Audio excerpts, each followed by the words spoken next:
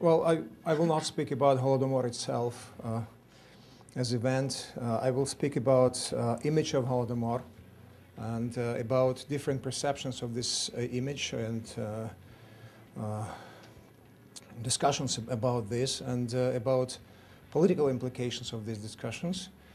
And my major idea is that Holodomor has become a kind of form of uh, cultural reality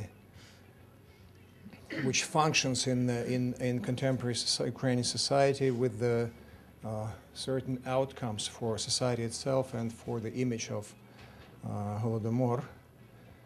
So uh, please keep in mind that I'm not speaking about event itself. And uh, I think I have a, some difficulties with the with doing this. I'm, I'm trying to find out my flash. Okay. So, uh, oh, oh, it's, it's here, here. No, no.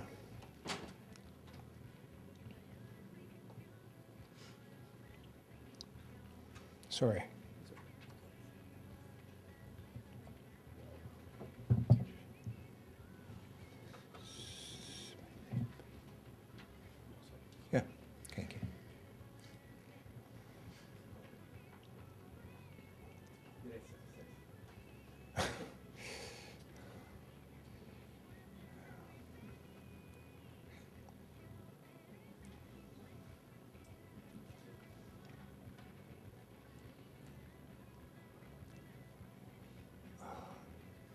Would Tovarish, Comrade Stalin think about this?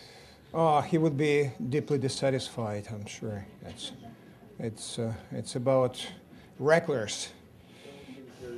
Okay, so yeah, I'll speak about uh, this phenomenon in terms of invention of tradition and, uh, of course, in terms of uh, social frames of memory. And uh, I will try to speak about social agents of uh, politics of memory.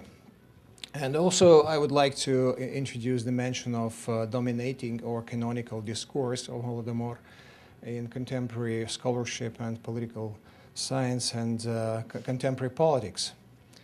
Uh, the major context of, uh, of uh, functioning the Holodomor as a form of cultural reality in contemporary Ukrainian society is a uh, instrumentalization of history, of course, and I would go to the idea of uh, certain stages of actualization of, uh, of history of Holodomor and Holodomor itself.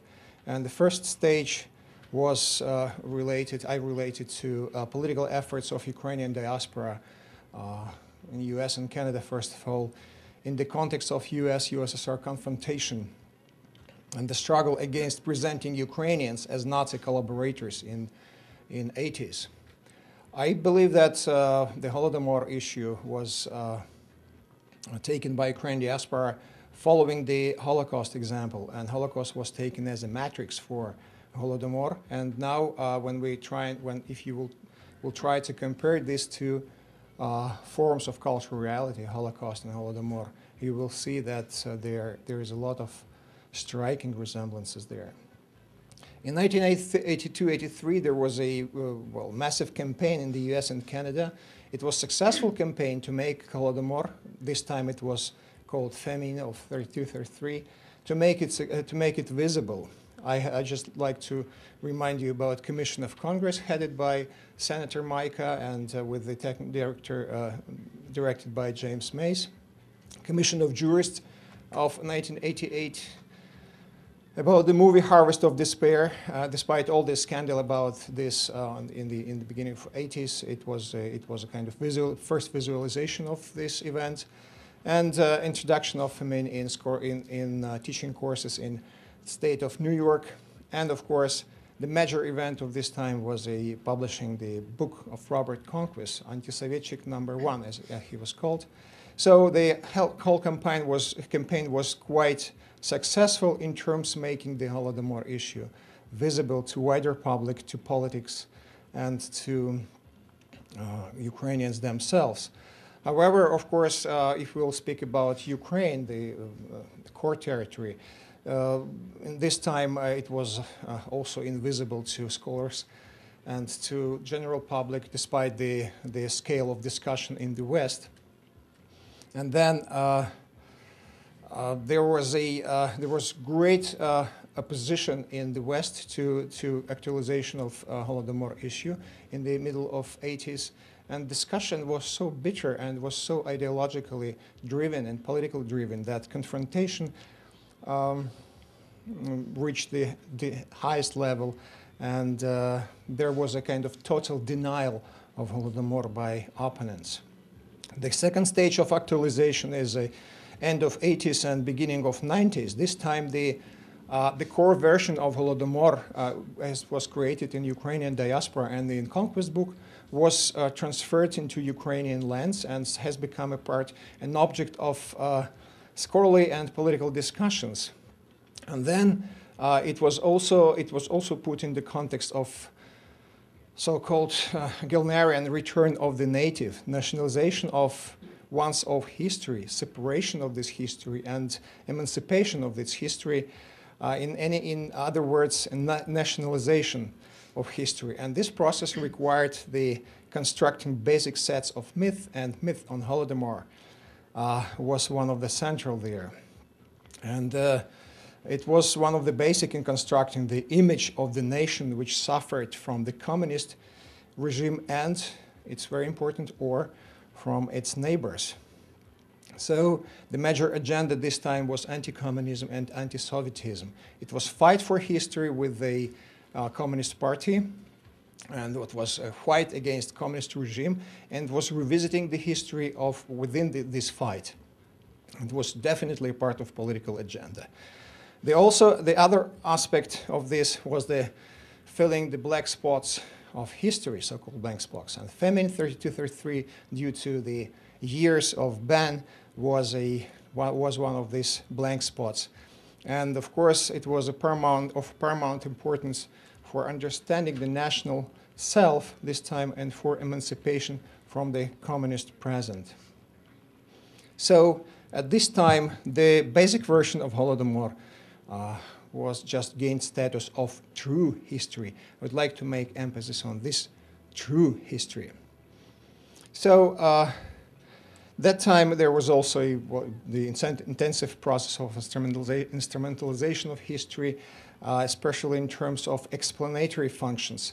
Past in the present, past was presented in the present through uh, different references to the outcomes of Holodomor, genetic, biological, spiritual ruin, uh, and uh, the, one of the major topics was, of course, who is to be blamed for the present misfortunes of Ukrainian nation, and Holodomor issue in this case was actualized very actively.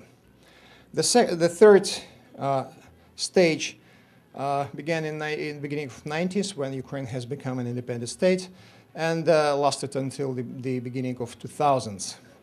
At this time, political agenda was, of course, state national building, and there were political debates within this process, for, uh, first of all with communists, and later with the so-called left opposition and so-called opposition.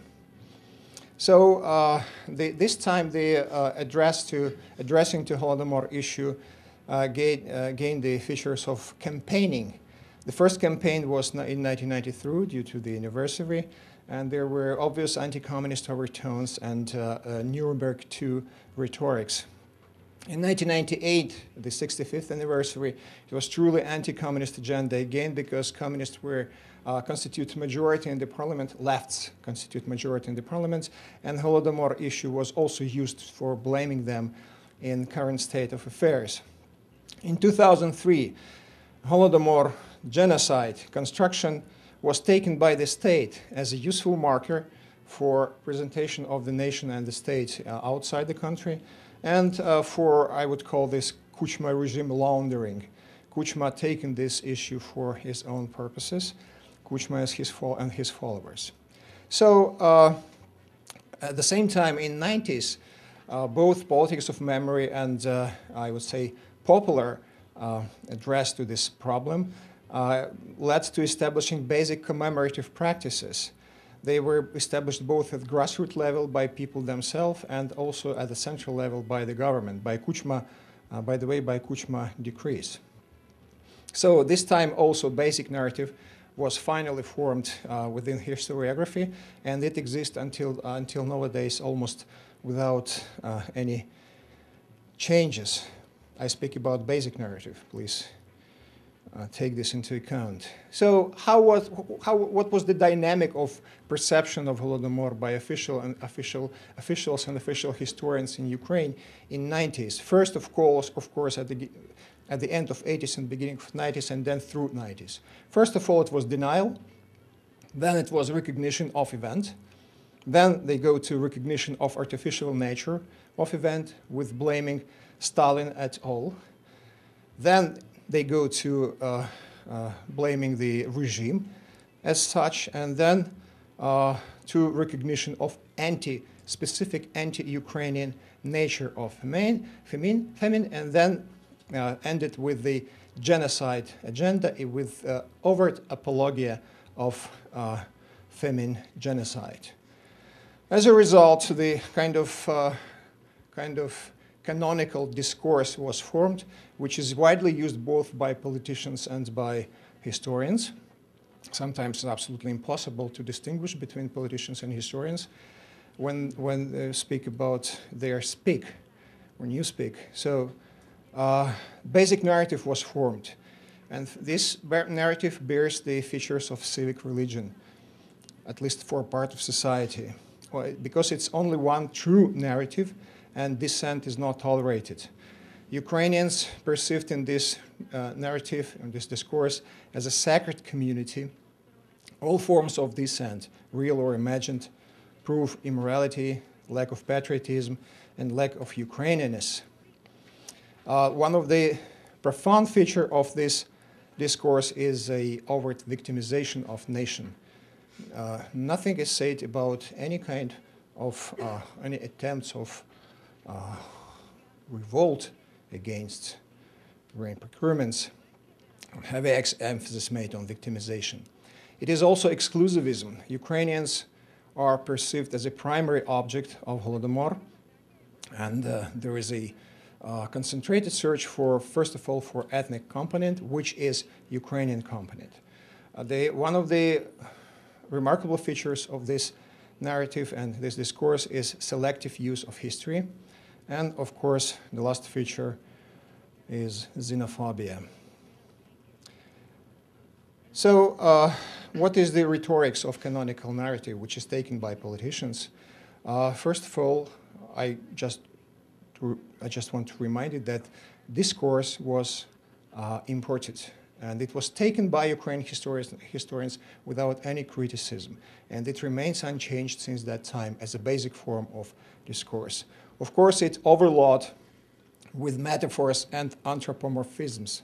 Uh, Ukraine suffers. Ukraine is a living being here, and Ukrainians are a living being. Nation uh, presented as a also as a living being, which backbone was crushed and uh, which was also beheaded, uh, which resembles the intellectual roots uh, uh, the intellectual rhetorics of populists of 19th century.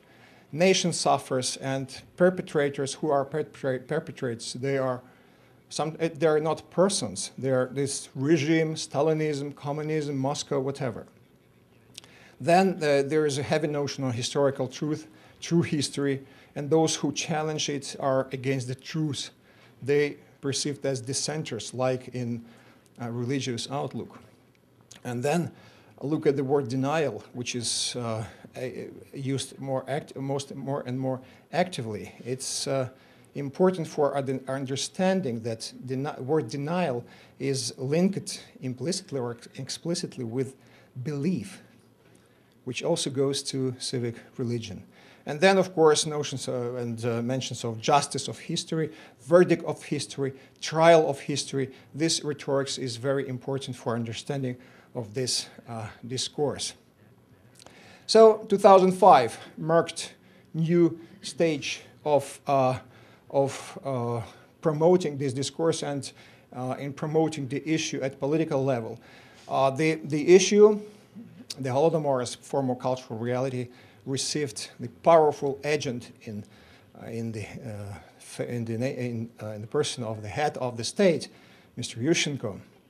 And uh, I would like to remind you the obvious fact that Ministry of Foreign Affairs, one of the most powerful state bodies, was used for uh, and is being used for uh, promotion the issue at the international level. And uh, if we would compare the results of previous stage and results of this stage, 2005, 2008, is absolutely unbelievable success in, uh, in promoting the issue. Even in the cases when, it, when the Holodomor is not recognized as genocide by, uh, by international bodies, in any case, the, the level of promotion and the level of knowledge about Holodomor is absolutely uh, fantastic, especially if we would, uh, we would compare this to Holocaust history, the Holocaust promotion history. So uh, uh, at this time, since 2005, the Holodomor has become an important part of the politics of memory, and it is very actively promoted by President and by his supporters. And uh, then it has become, unfortunately, part of the parcel uh, in internal political struggle. Look at the chronology of events when the Holodomor issue is actualized after 2005. Law on Holodomor uh, was submitted by the president in October 2006, right at the height of, uh, of political struggle with the uh, with anti well with so-called uh, uh, the coalition of party of regions and uh, and lefts. Then law on amendments to criminal code proposed by two deputies from pro-Yushchenko circles in December 2006 were also within this political struggle and were actualized by political struggle to mark their opponents as those who do not recognize Holodomor as genocide and then to uh, morally corrupt it, them, so to say. Second attempt, March 2007, two days before uh, dissolving the parliament, uh, the, the uh, new uh, draft decree was presented by president about uh, this were, it was draft decree about criminalizing the uh, denial of Holodomor and Holocaust as an act of genocide, not as such, but as an act of genocide, interpretive uh, part. And at this time, which is very interesting, due to official data, 40% of respondents in, in respondents in the East according to sociological polls, did not agree, to consider Holodomor as genocide, comparing to 71% throughout Ukraine. It's official data. So then, uh, after the parliament was, parliament was dissolved in April uh, 2007, uh, there were negotiations between opposition, between president, between striving, uh, struggling political, political forces, and when Yushchenko proposed the parcel of 12 uh, 12 basic laws that should be uh, adopted by the parliament, Holodomor was in this list. In January 2008, when there was next stage of, uh, endless, of this endless political crisis, uh, Yushchenko once again proposed this law draft within another parcel of uh, negotiation, uh, ne negotiative laws. And then finally, in September 2008, it was next stage, well, next of next stage of political turmoil and political uh, uh, crisis, uh, or better to say, political mess. So, uh, and this time, Yushchenko once again included the uh, law on Holodomor, crim criminalization of Holodomor denial, into parcel of uh, political negotiation. So, to conclude, the Holodomor issue has appeared in the, uh, at the beginning of the 80s as a truly political agenda, and now it, it functions as truly political agenda in Ukrainian public discourse in, in, and even in uh, scholarly academic discourse. So uh, it poses certain limitation, uh, limitations and certain difficulties uh, to historians uh, who try to speak about this without this relish of hysteria and uh, who try to speak about this as an academic problem. When you try to, when you try to move to, uh, to scholarly field, uh, you always is taken by, by uh, political considerations and ideological struggle. So uh, you always have a um, chance to to be labeled as a well as somebody who uh, holds kind of views which are incompatible with the with the moral patriotism whatever.